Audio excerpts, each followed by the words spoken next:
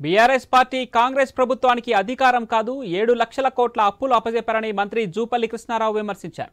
నాగర్ కర్నూలు జిల్లా వెన్నచెర్ల క్లస్టర్లో నిర్మించిన పలు అభివృద్ధి పనులను మంత్రి ప్రారంభించారు. మిగిలిన రూ అర్బన్ పనులను వీలైనంత త్వరగా పూర్తి చేస్తామని ఆయన హామీ ఇచ్చారు. ఇక రైతు వేదిక భవనాలను గ్రామస్తులు అన్ని కుల సంఘాలు సమావేశాల కోసం ఉపయోగించుకోవడానికి ముఖ్యమంత్రి దృష్టికి తీసుకువెళ్తానని తెలిపారు.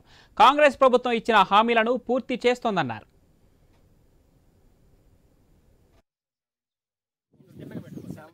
తెలంగాణ బిడ్డలు ప్రాణాలు ఇచ్చింది. మా వచ్చిన తెలంగాణ పచ్చగా ఉండాలి చల్లగా ఉండాలి అవినీతి రహితంగా ఉండాలి నిజాయితీ ఉండాలి. మా ప్రజల కష్టాలు తీరాలని ఇంతమంది ఆత్మ చేసుకుని తెలంగాణ తెచ్చింది వచ్చింది. మరి తెలంగాణ వచ్చిన తర్వాత తొమ్మిదిన్నర సంవత్సరాలు పరిపాలించినటువంటి ముఖ్యమంత్రి గారు ఆనాటి ప్రభుత్వం. అలా నాలుగేళ్ళు నేను కూడా మంత్రి ఉన్నా.